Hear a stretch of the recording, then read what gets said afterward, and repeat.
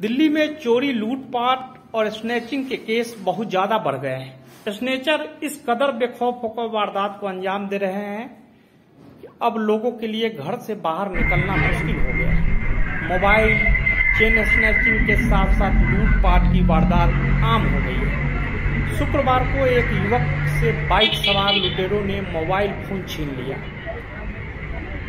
जानकारी के अनुसार नजफगढ़ द्वारका के रहने वाले साइंटिस्ट के पुत्र पत्रकार संदीप कुमार अपने पुत्र को स्कूल से लेने जा रहे थे। तभी पीछे से आए एक बाइक सवार ने मोबाइल फ़ोन छीन लिया। संदीप कुमार चोर चोर चिल्लाते रहे, तब तक युवक तेज रफ्तार से बाइक भगा ले गया।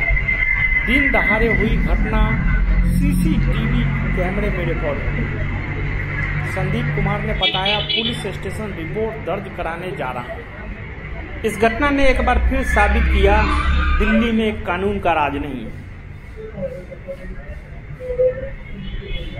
बदमाश कानून से अपने आप को ऊपर समझते हैं। उम्मीद है दिल्ली पुलिस जल्द इस पर कार्रवाई करेगी